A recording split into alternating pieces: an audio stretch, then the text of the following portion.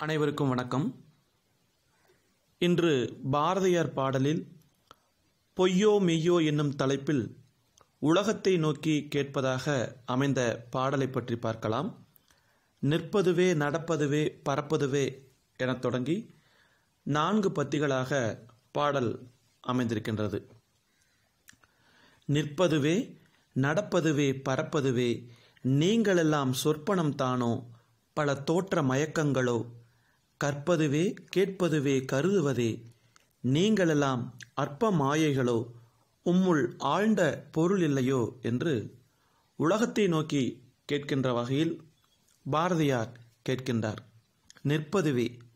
இந்த உலகத்தில் அசையாது நிலை பெற்றிருக்கக்கூடிய மலைகள் இடம் விட்டு இடம் நகராமல் நின்று கொண்டிருக்கக்கூடிய மரங்கள் இவற்றையெல்லாம் பார்த்து நிற்பதுவே என்கிறார்.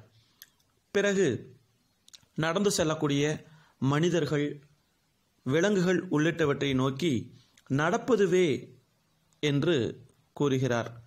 பிறகு பறக்கின்ற பறவைகளை பார்த்து பறவைகளே பறப்பதுவே என்கிறார்.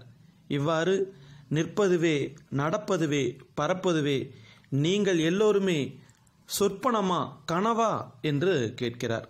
அல்லது அறிவு மயக்கத்தில் விளைந்த காட்சிகள் தானோ என்று கேட்கிறார். அதன் பிறகு கற்றறிகின்ற விஷயங்களே கேட்டறியும் செய்திகளே சிந்தித்தறியும் உண்மைகளே நீங்கள் அனைவரும் பொருட்படுத்தக்கூடாத பொய்த் தோற்றங்கள் தானா?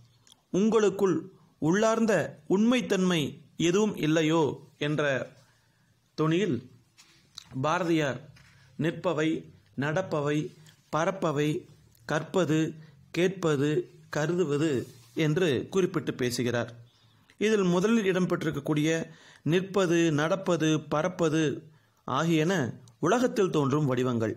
பின்னர் வருகின்ற கற்பது கேட்பது கருதுவது என்பன செய்கைகள். இவ்வாறாக பாரதியார் இந்த இடத்திலே கேள்வி கேட்கின்றார். அடுத்து வருகின்ற பாடல் வானகமே இளவையிலே மரச்சரிவே நீங்களெல்லாம் காணலின் நீரோ வெறும் காற்று பிழைதானோ? போனதெல்லாம் கணவனைப் போல் புதைந்தழிந்தே போனதனால் நானும் ஓர் கனவு? இந்த ஞாலமும் பொய்தானோ? என்கிறார். ஏ ஆகாயமே இதமான சூரிய வெளிச்சமே அடர்த்தியான மரங்களே நீங்கள் அனைவரும் காணல் நீரைப் போல் இருப்பது போல் தோன்றி உண்மையில் இல்லாதவர்கள்தானா உள்ளீடற்ற தவறான தோற்றங்கள் தானா? கடந்த காலத்தில் நடந்த நிகழ்வுகளெல்லாம் ஒரு கனவை போல் மனதில் புதையுண்டு மறைந்து போய்விட்டன. அதனால் நான் என்ற இருப்பே ஒரு கனவுதானோ? இந்த உலகமே கனவில் தெரியும் ஒரு பொய்த்தோற்றம் தானோ என்று கேட்கிறார். இந்த இரண்டு பாடல்களிலுமே பாரதியார் இந்த உலகத்தில் எதுவுமே நிரந்தரம் இல்லையா எல்லாமே பொய்த் தோற்றங்கள் தானா கனவுகள் தானா என்பதாக கேட்டுக்கொண்டே வருகின்றார். அடுத்து வருகின்ற பாடலிலே பாரதியாருக்கு ஒரு தெளிவு கிடைத்து விடுகின்றது. காலம் என்றே ஒரு நினைவும் காட்சி என்றே பல நினைவும் கோலமும் பொய்களோ அங்கு குணங்களும் பொய்களோ. சோலையிலே மரங்களெல்லாம் தோன்றுவதோர் விதையில் என்றால் சோலை பொய்யாமோ இதை சொல்லோடு சேர்ப்பாரோ என்று பாடுகிறார். காலம் பற்றிய ஓர் எண்ணமும் காணும் தோற்றங்கள் பற்றிய அநேக எண்ணங்களும் அந்த தோற்றங்களும் வெறும் மாயைகள் தானோ அங்குள்ள அவற்றின் இயல்புகளும் மாயைகள் தானோ ஒரு தோப்பில் உள்ள பெரிய மரங்களெல்லாம் ஒரு சிறு விதையிலிருந்து தான் தோன்றுகின்றன என்பதால் அந்த தோப்பினை மாயை என்று கூறலாமோ? இவ்வாறு மாயை என்று கூறுவதை அர்த்தமுள்ள பேச்சு என்று அறிஞர்கள் கருதுவார்களோ என்பதாக தனக்கு ஏற்பட்ட சந்தேகத்தை இங்கே தெளிவுபடுத்துகிறார். ஒரு தோப்பினை பார்க்கின்றோம். ஒரு விதையிலிருந்து பல மரங்கள் உருவாகின்றன. அதற்காக அது வெறும் மாயை என்று சொல்லிவிட முடியுமா என்று கேட்கிறார். அதற்கு அடுத்து வருகின்ற பாடலிலே காண்பையெல்லாம் மறையும் என்றால் மறைந்த எல்லாம் காண்பம் அன்றோ? வீண்படும் பொய்யிலே நித்தம் விதி தொடர்ந்திடுமோ? காண்பதுவே உறுதி கண்டோம் காண்பதல்லால் உறுதி இல்லை காண்பது சக்தியாம் இந்த காட்சி நித்தியமாம் என்று பாடுகிறார். நாம் காணுகின்ற அனைத்தும் ஒரு நாள் மறைந்து போகும். ஆதலால் இவ்வுலகம் மாயைதான் என்று சிலர் கூறுகிறார்கள். காணுகின்ற யாவும் மறைந்துவிடும் என்றாலும் மறைந்து போனவற்றையெல்லாம் நாம் இவ்வுலகில் வேறு வடிவங்களில் பார்ப்போம் அல்லவா?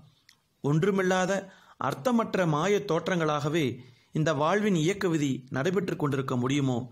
முடியாது. ஆதலால் நாம் பார்ப்பவையெல்லாம் நிச்சயமான உண்மை என்று அறிந்து கொண்டோம். நாம் பார்ப்பவை அல்லாமல் நிச்சயமான உண்மை என்று வேறு எதுவும் இல்லை. பார்ப்பவையெல்லாம் பராசக்தியின் வடிவங்களே. ஆதலால் இந்த தோற்றங்களெல்லாம் நிலையான உண்மைகள் என்று பாரதியார் தெரிவிக்கின்றார். இந்த நான்கு பாடல் கருத்துக்களை முற்று நோக்கும் பொழுது இந்த உலகம் பொய்யா மெய்யா என்று கேட்கும் பொழுது மெய் என்று பாரதியார் குறிப்பிடுகின்றார். ஒரு காலத்தில் பார்க்கக்கூடிய காட்சிகள் இன்னொரு காலத்தில் மறைந்துவிடும். ஆனாலும் கூட ஏதாவது ஒரு வடிவிலே அவை வாழ்ந்து கொண்டுதான் இருக்கும் இருந்து கொண்டுதான் இருக்கும். ஆக உலகத்தை நிலையில்லாதது பொய்யானது அழியக்கூடியது என்று சொல்லி காலத்தை போக்காமல் எல்லாமே பராசக்தியினுடைய வடிவங்களாக இருக்கின்றன என்ற உண்மையை புரிந்து கொண்டு உலகத்தோடு ஒட்டி வாழ்கின்ற காலம் வரை உண்மையான ஒரு வாழ்க்கையை வாழ இந்த பாடலிலே வேதாந்த கருத்துக்கள் போல தன்னுடைய கருத்துக்களை பாரதியார் பதிவு செய்திருக்கிறார். மிக்க நன்றி.